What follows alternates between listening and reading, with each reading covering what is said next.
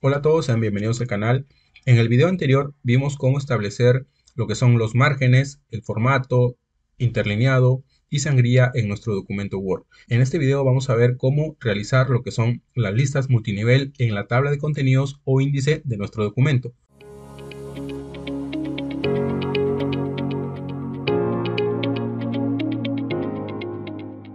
Bien, en la mayoría de los trabajos de investigación, en la tabla de contenidos o índices se combina lo que es la numeración romana, como es la que tenemos aquí, y la numeración eh, normal, o también llamada numeración arábica, que son los números que conocemos.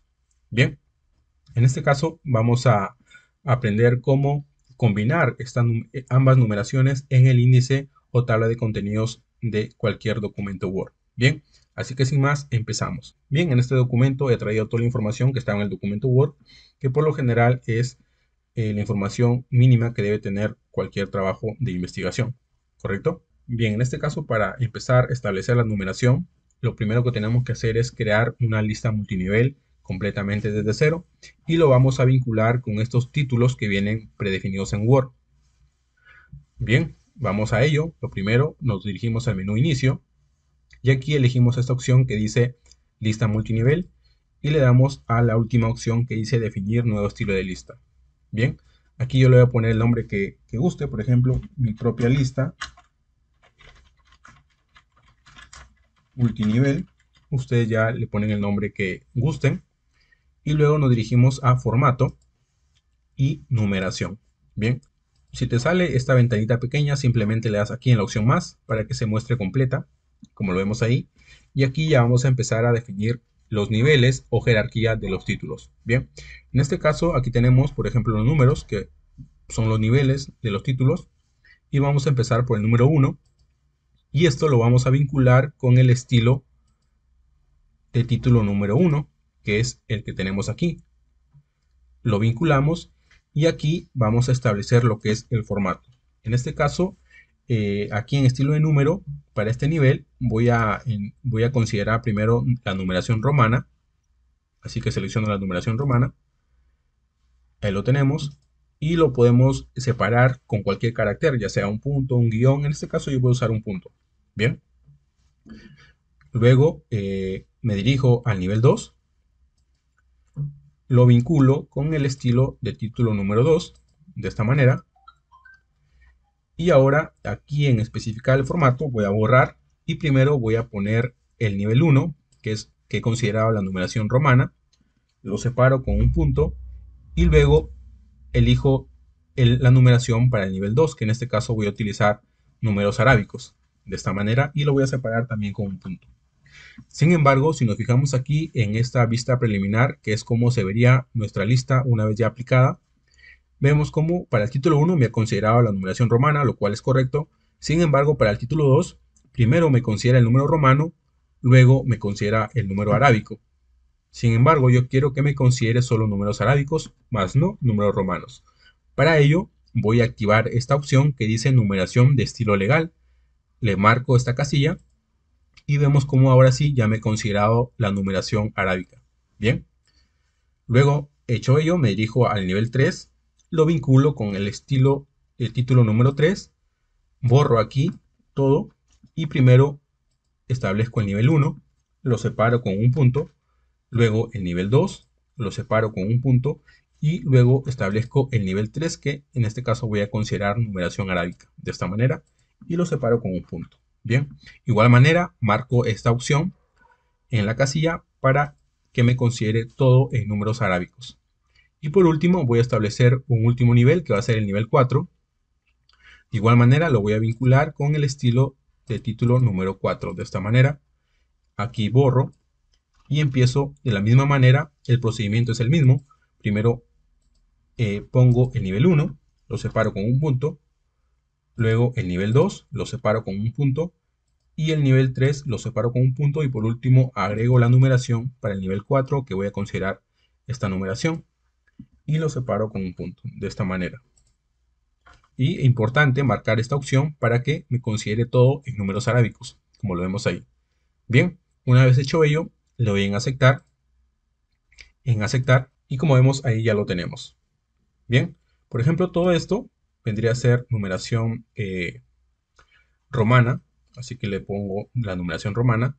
Y a partir de aquí del capítulo 1, para todos los títulos de nivel 1 voy a considerar la numeración romana, es decir, le voy a aplicar el estilo de título número 1 y para los títulos de nivel 2 y 3 ya le aplico el estilo que corresponde. Bien, primero voy a identificar los títulos de nivel 1, en este caso es este de aquí, capítulo 1.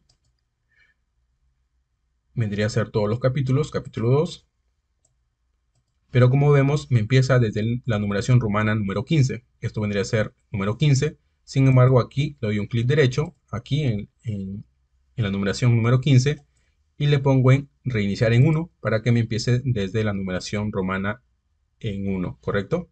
Y ahí lo tenemos. Bien, ahora sigo identificando los títulos de nivel 1, que son todos estos, de esta manera. Ahí lo tenemos y todo esto de aquí. Bien.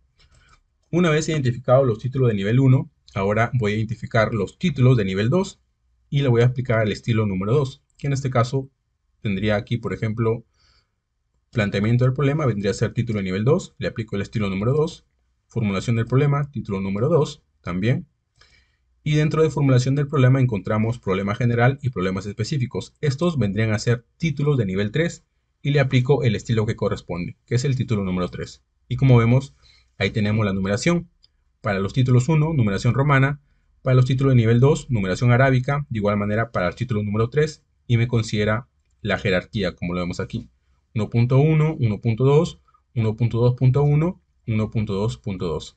Y de esa manera voy a ir identificando la jerarquía de los títulos en mi documento. De esta manera, ahí lo tenemos. Objetivos sería nivel 2. Y dentro de objetivos encontramos general y específico que vendrían a ser título de nivel 3. Y así vamos a ir identificando los títulos con todo nuestro documento. Una vez terminado, tenemos aquí eh, un pequeño detalle que, por ejemplo, para los títulos de nivel 2 y 3, eh, no es el formato eh, que yo quiero, sino que me considera el formato que ya está establecido en estos títulos. Lo que tengo que hacer es, me posiciono en el título número 2 de nivel 2 y automáticamente me selecciona el título de estilo número 2, le doy un clic derecho y le doy a modificar. Aquí voy a establecer, por ejemplo, la fuente New Romance, que es una de las aceptadas por la norma ZAPA. Le aplico el tamaño 12, le pongo negrita, le cambio el color y luego me dirijo a formato, párrafo, en alineación a la izquierda. Aquí le quito esto, que quede en valor 0 y le aplico un interlineado de doble de esta manera y le doy en aceptar.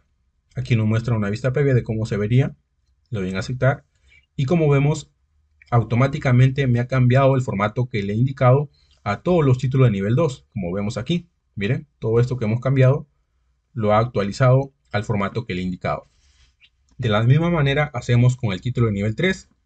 Lo selecciono, automáticamente me selecciona el estilo, clic derecho, modificar. Bien, establezco la fuente, el tamaño, negrita, el color. Y en este caso, para, para los títulos de nivel 3, las normas APA me indica que debe ir en cursiva. Así que le activo la cursiva. Y por último me voy a formato, párrafo. Aquí le pongo en sangría 0, en interlineado doble, esto también lo pongo en cero. En cero de esta manera. Y le doy en aceptar. Y aceptar. Bien, y como vemos se ha aplicado el mismo formato para todos los títulos de nivel 3. Bien, una vez ya terminado con todo el documento, no queda, simplemente voy a agregar una hoja en blanco, menú insertar, página en blanco y aquí voy a establecer lo que es la tabla de contenidos. Me voy a menú referencias, tabla de contenidos y elijo la primera opción. Si te vota de esta manera, no te asustes, simplemente le hacen actualizar toda la tabla y ya se ha arreglado. Y aquí queda simplemente seleccionar todo y ponerle eh, un espaciado de 1.5 para que se vea de esta manera o el espaciado que considere necesario. Por ejemplo, 1.5 está bien, ahí lo tenemos.